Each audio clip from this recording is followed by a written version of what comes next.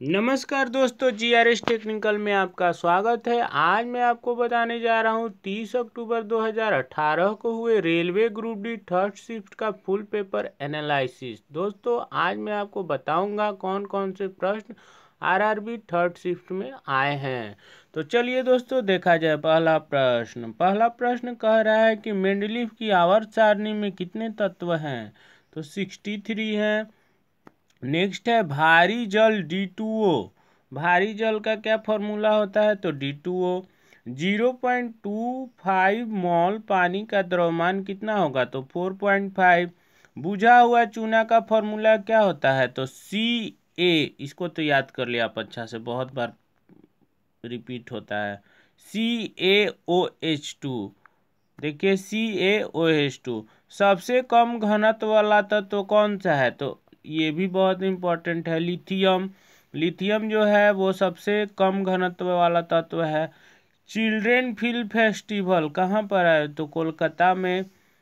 Mendeleev की आवर्त सारणी में कितने तत्व हैं? देखिए बार बार रिपीट हो रहा है। ये तो सिक्सटी थ्री सिक्सटी थ्री हो गया। नोबेल गैस किस समूह को कहते हैं? तो अठारह मतलब किस समूह से आता है? तो अठारह। जो ये मेंडलीव आवर्त सारणी है, ये सेकेंड और थर्ड लगातार रिपीट कर दिया है। जुलाई 2017 में कितना शुक्रवार था? तो देखिए हम लोग फार्मूला है, उस तरह से बनाते हैं। तो one zero six seven plus one करके बाई सेवन से डिवाइड कर देंगे तो वन आ जाएगा। वन मतलब संडे हो गया। तो पहला तिथि जो है तो एक से छः छः, तेरह, बीस, सात तो कितना हो गया? चार।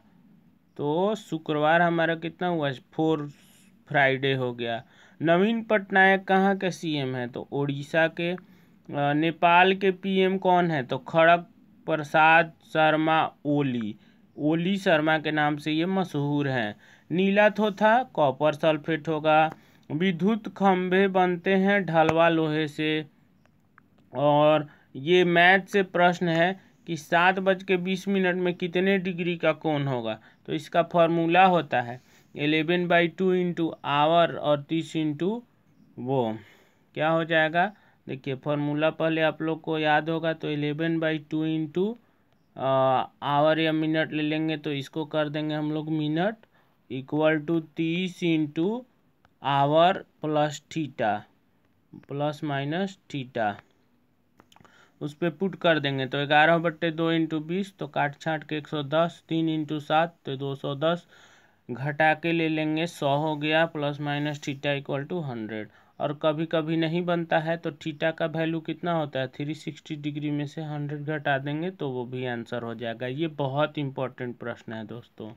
नेक्स्ट, दो ठो मैथ से है कि सात हज़ार पचहत्तर हज़ार का पंद्रह परसेंट की दर से दो वर्ष के चक्रवृद्धि ब्याज तथा साधारण ब्याज में अंतर कितना होगा? तो निकाल लेंगे पचहत्तर हज़ार इंटू ज़ीरो एक कम है। तो सबसे पहले एक ज़ीरो लगा लिया जाए यहाँ पे, सबसे पहले यहाँ एक ज़ीरो और एक ज़ीरो यहाँ। उसके बाद चला देखा जाए।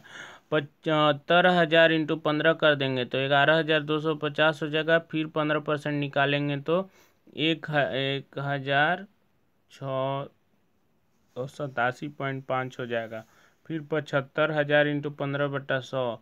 इस तरह से करके निकालते हैं हम लोग तो कंपाउंड इंटरेस्ट का होता है फॉर्मूला टू इंटू वन तो वन ले लेंगे सिर्फ़ इधर। ये हम लोग को अंतर पूछ रहा है डिफरेंस तो डिफरेंस पूछ रहा है तो वन ले लेंगे तो कितना हो जाएगा? एक को छोड़ के दूसरा तो one six eight seven point five answer हो जाएगा. लास्ट प्रश्न है कि आठ हज़ार का पाँच परसेंट की दर से तीन वर्ष का चक्रवृद्धि ब्याज क्या होगा? तो आठ हज़ार इंटू पाँच परसेंट तो पहला का चार सौ, फिर दूसरा निकालेंगे चार सौ इंटू पाँच परसेंट तो बीस, और फिर नीचे करेंगे हम लोग, करते हैं बीस इंटू पाँच परसेंट तो वन हो जाएगा, क्योंकि बीस ऊपर रहेगा तो पाँच हो जाए बीस पच्चीस सौ सौ बटे सौ तो एक हो जाएगा। तो इसी तरह इसका भी अंतर पूछ रहा है तो अंतर का फॉर्मूला होता है, आपको पहले ही मैं बता दिया सी आई का तो दो साल का रहेगा तो टू रेशियो वन और तीन साल का रहेगा तो three into three into three ratio three ratio one.